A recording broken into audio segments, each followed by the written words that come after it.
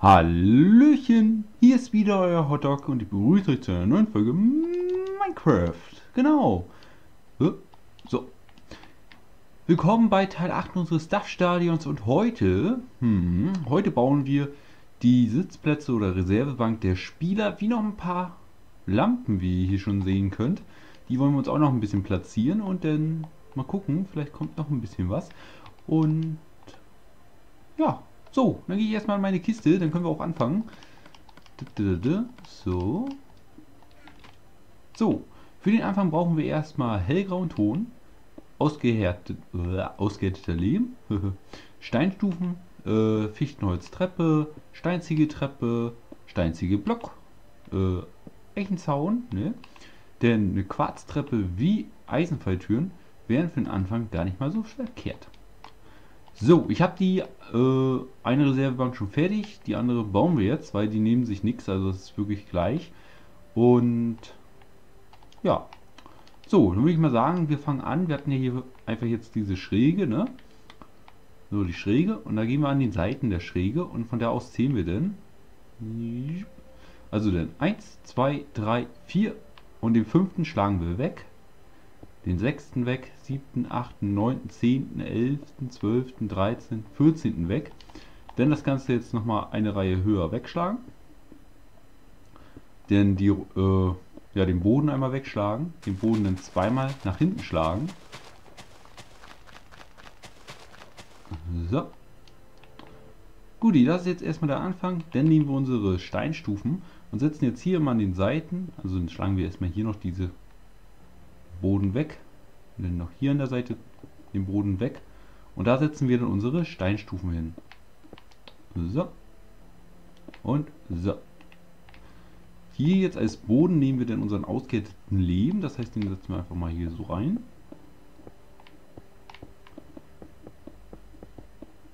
So.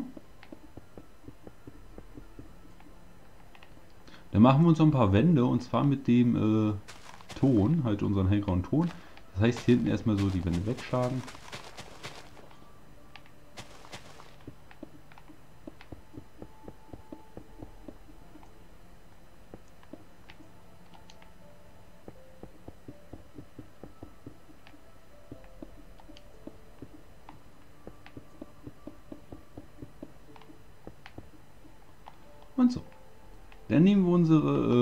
einzige Treppe und machen dann erstmal unser, unsere Decke. So. Aber bevor wir jetzt die andere Seite zuziehen, müssen wir noch hier an den Seiten erstmal noch eine Schicht setzen. Ansonsten sind da ja Löcher, da kann man ja dann durchgucken sonst. Ne? So. Dann nehmen wir jetzt wieder unsere Steinziegetreppe und setzen die dahin. So. Sieht doch gar nicht mal schon so schlecht aus. Jetzt nehmen wir unseren Eichenzaun und platzieren jetzt erstmal hier in der Mitte, ne? müssen wir mal Eichenzaun haben und dann jeweils hier nochmal an der Seite. So. Nun nehmen wir unsere ja, Fichtenholztreppe, fangen jetzt einfach mal hier so an, ne, immer auf der Innenseite hier jetzt anfangen. Das Ganze ziehen wir jetzt hier so rüber, so dass wir hier noch zwei Blöcke frei haben. Du, du, du, so. Dann würde ich mal sagen, schlagen wir jetzt einfach mal hier das weg. Das weg und das weg. Und dann einfach mal hier so ein Zweier-Blockreihe bis halt, sag ich mal, hier hin platzieren, ne, wo wir ja hier diesen Eingang haben, ne? Hier, das wir auch nochmal weg. So, dann können wir hier schon wieder unsere Wände ziehen. Aber jetzt muss ich erstmal in die Kiste gehen, weil so viel Blockmaterial kann ich nicht immer bei mir tragen. Äh, da, da, da, das brauchen wir nicht mehr. Das brauchen wir nicht mehr so. Und ähm, das. Ja, wir brauchen noch Orangenton wie äh, Haken. So, mit einem Haken machen wir auch noch gleich erstmal was hier vorne. Das heißt jetzt hier über die äh, ja, Bänke. ja, platzieren wir die Stolperhaken. Da können die Spieler dann ihre ja, Ausrüstung nochmal aufhängen, vielleicht hier einen extra Helm oder so. Oder den Baseballschläger können sie da ranhängen. genau. So, dann können wir erstmal weitermachen mit unserem ausgehenden Leben hier jetzt erstmal wieder am Boden machen. Ist gar nicht mal so verkehrt. So. Hier natürlich den Ton. Hier können wir das auch schon mal wegschlagen, hier so ringsrum überall halt erstmal hellgrauen Ton machen. Halt. Hier so. Also es ist gerade hier.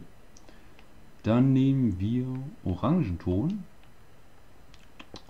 Ja, und platzieren den hier drauf.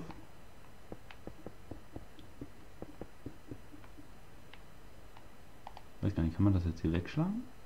Können wir nicht wegschlagen. Schade. Dann machen wir So, machen wir ein bisschen enger. So, unten den hellgrauen Ton.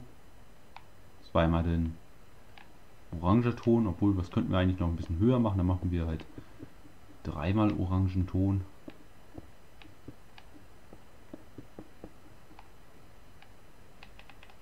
Obwohl in die Richtung, wo wir jetzt hier den Eingang haben, ne, da machen wir komplett halt, ja, hellgrauer Ton. Dann nehmen wir unsere Quarztreppen und platzieren jetzt hier 1, 2, 3, dreimal Quarztreppen. Dann nochmal dreimal darauf. Dann Eisenfalltür darauf platzieren. Und fertig werden unsere Schränke oder so, wo die Spieler dann nochmal ihre Sachen ablegen können. Auf der gegenüberliegenden Seite bringen wir wieder äh, unseren Stolperdraht ran. So. Dann nehmen wir eine Steinziegeltreppe, platzieren die jetzt hier. Ne? Dann nehmen wir Steinziegel und ziehen uns hier oben erstmal eine Decke.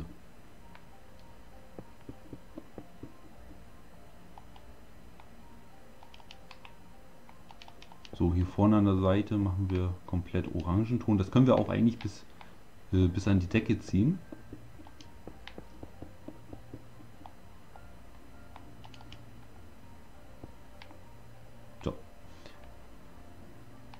gehe erstmal wieder an meine Kiste ran, damit wir uns wieder ein bisschen was holen.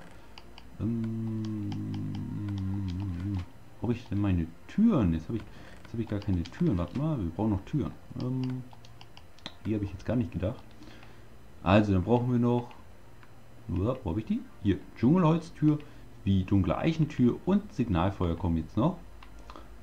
Ja, mit der Dschungeltür fangen wir an. Die platzieren wir gleich hier so nach innen versetzt hier rein. Ne? Denn halt äh, dunkle Eichentür, die platzieren wir hier. So nach außen stehend. Ne? Dann nehmen wir unser Signalfeuer und das hauen wir uns dann hier oben einfach mal rein. Natürlich sollten wir erstmal den ja, Steinziegel nehmen. Hier sitzt man so. Hier vorne noch rauf. Dann nehmt ihr euer Signalfeuer, haut es denn hier so rein. Dann haben wir unsere Beleuchtung. So, ja, das wären dann hier die, wo die Spieler halt sich hier noch umziehen können. Und dann gehen sie halt am Ende hier hin und können dann loslegen hier mit ihrem Spiel. Jetzt sieht das hier aber wieder so vollgemüllt aus hier vorne. Ich mach das mal äh, noch weg. So, so, so, so. Ja, das macht er einmal hier und das Ganze nochmal hier.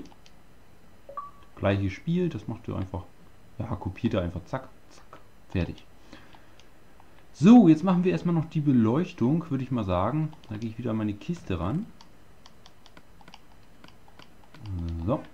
Für jetzt solche Lampen, wie da, brauchen wir jedenfalls Pflastersteinmauer, steinzige Stufe, steinzige Treppe, steinzige Block und Signalfeuer.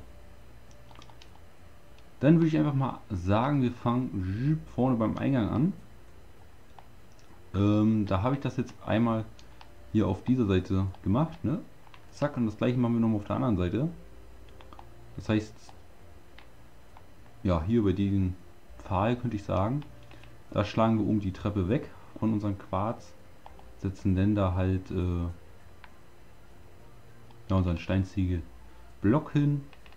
Danach dann Pflastersteinmauer, denn 1, 2, 3, 4, 5, sechsmal platzieren. Dann platziert ihr darauf einen Block. Ähm, zweimal Blöcke noch nach oben, zweimal erstmal an den Seiten. Denn jetzt platzieren wir erstmal daran unsere Signalfeuer. Und dann könnten wir die hier wieder wegschlagen. So. Jetzt erstmal hier, erstmal auf jeder Seite Stufe, Stufe. Denn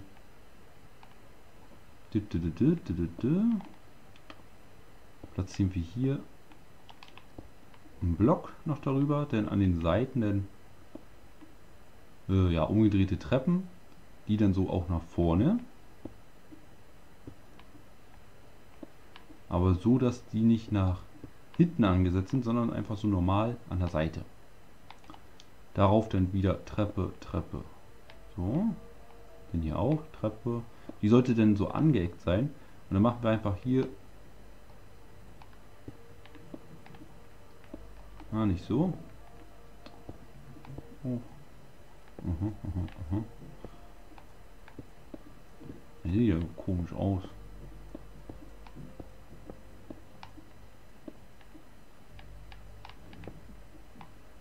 So, genau. So, die sollten nicht angeeckt sein, erstmal so normal und dann zack, dass sie so angeeckt ist. Dann noch auf den Signalförmern jeweils nochmal Steinstufen äh, platzieren. Genauso wie unten. Tja, und dann wäre die Lampe eigentlich schon fertig. Dieses Spiel macht ihr auch nochmal da drüben und dann habt ihr die. So, Jetzt machen wir noch mal so eine Eckenlampe. die platzieren wir einfach mal jetzt hier auf der, auf der auf dem Pfosten. schlagen dafür halt, da hatten wir ja überall Stufen drauf, die schlagen wir jetzt weg, die Stufe. Setzen unsere Pflastersteinmauer hin und die ziehen wir jetzt auf eine Höhe von 1, 2, 3, 4, 5, 6, 7, 7 mal Pflasterstein. Ähm, ja, Mauer. Dann einen Block drauf platzieren dann erstmal ähm ähm ähm, ähm, ähm, ähm, das hört sich schon mal gut an. Ja, da erstmal den ja so dreimal schräg Signalfeuer drauf platzieren. Sollte halt, sag ich mal, wenn ihr erstmal hier so drei schräg macht, dann einfach so mal so drei schräg nach vorne da jeweils deine Unter ähm, Stufen. Natürlich machen wir auf dem Signalfeuer noch eine zweite Schicht Signalfeuer auf So. Denn hier die Lücken könnten wir eigentlich mit steinzige Blöcke füllen. Genau. So. Ja. Dann halt an den Seiten jeweils noch ähm, ja, steinzige Treppen. Die Blöcke jetzt hier schräg an den Seiten können wir wegschlagen. Hier nochmal ein Block. So, so, so, so. Dann jeweils hier oben auch nochmal. Ähm, ja, Treppen platzieren. Die könnt ihr aber jetzt mal, sag ich mal, anecken, oder? Ja, die lassen wir mal angeeckt. Hier genau das gleiche Spiel. Denn hier in der Mitte eine Stufe. Und dann jeweils noch hier oben auf den Signalfallen auch nochmal Stufen rauf. Und das wäre dann jetzt hier an der Seite unsere ja, unsere Beleuchtungsanlage für unser Stadion sollte nicht fehlen. Das machen wir natürlich auch da, und das sollte eigentlich reichen. Wenn ihr es halt mehr machen wollt, dann immer auf solchen Pfosten könnt ihr es platzieren. Das heißt, ihr könnt das ganze Spiel jetzt auch nochmal hier drauf machen oder hier drauf. Aber laut Stadion ist nicht mehr hier. Also es ist echt nur zwei jetzt hier vom Eingang, eine da und eine da in der Ecke. Und fertig werden dann eigentlich unsere Dinger. Äh, wenn ich jetzt mal Nacht mache, das äh, bringt eigentlich kaum was. Sieht einfach nur irgendwie gut aus. Aber in Minecraft bringt so ein Scheinwerfer ja wirklich kaum was. Aber naja. Jetzt haben wir wenigstens unsere Beleuchtung beim Stadion. So. Jetzt könnte ich eigentlich schon wieder sagen, das war es jetzt für diese Folge, aber ich möchte noch ein bisschen was machen. Das heißt, äh, Helgenauer und Ton nehmen wir jetzt nochmal, den wir für unsere Sitzbänke benutzt haben. Und ich habe mich jetzt entschieden, jetzt hier hinten ähm, ist ja noch so eine Mauer. Die machen wir jetzt aus dem gleichen Material jetzt hier wie das. Äh, weil ich habe in der Folge gesehen, ist es auch das gleiche Material. Und von daher machen wir das jetzt. Das heißt jetzt, wir fangen, wer es erkennt, wo wir sind, ne, auf der Seite hier, bei den Pfosten fangen wir an zu zählen. Das heißt dann 1, 2, 3, 4, 5, 6, 7, 8, 9, 10, 11, 12, 13, 14, 15, 16, 17, 18, 19, 20, 21, 22, 23, 24, 24. Wir sollten eigentlich äh, synchron abstimmen hier mit unserem ähm, Trampelfahrt, den wir hier gemacht haben. Denn halt so schräg, dann 1, 2, 3, 4, wie immer, hier synchron abstimmen, dann wieder 1, 2, 3, 4, synchron hier, ne? Dann wieder 1, 2, 3, 4, zack, synchron und dann wieder 1, 2, 3, 4, blub, wir müssten wieder jetzt 3 setzen, 3, nochmal 3. Und dann geht es hier schon mit den Einlern los und zwar dann 1, 2, 3, 4, 5, 6, 7, 8, 9, 10, 11, 12. 12 mal einer, denn 2 so runter schräg, wieder 2 runter schräg, wieder 2 runter schräg, wieder 2 runter schräg und einer. Und wir sollten dann hier perfekt ankommen. So, wenn wer jetzt nicht so ganz mitkam, ich fliege jetzt hier einfach mal hoch, kann man sich das nochmal angucken. Einfach Video kurz anhalten und fertig. so, jetzt ist die Frage, wollen wir das auf einen lassen? Natürlich nicht. Wir ziehen uns das Ganze noch hoch und zwar auf eine Höhe von 4. Ja, machen wir auch 4. Ich trinke jetzt noch schnell einen Geschwindigkeitstrank, damit wir das mal noch alles hier hochziehen können.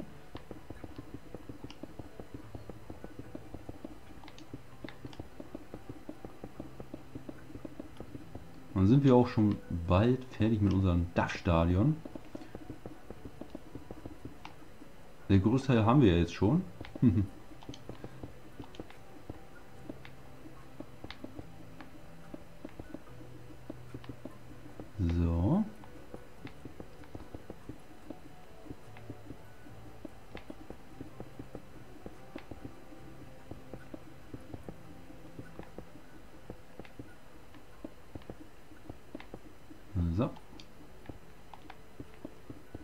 den anderen schräg, immer hier auch beste Taktik ist immer so schräg hin und her gehen, um die halt hochzuziehen, erspart man sich immer ein bisschen so Arbeit. Bin ich immer leichter. So.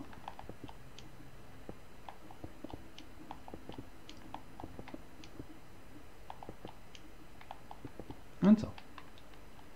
Jo, gucken wir das Ganze mal nochmal an. Ja, kann man zufrieden mit sein.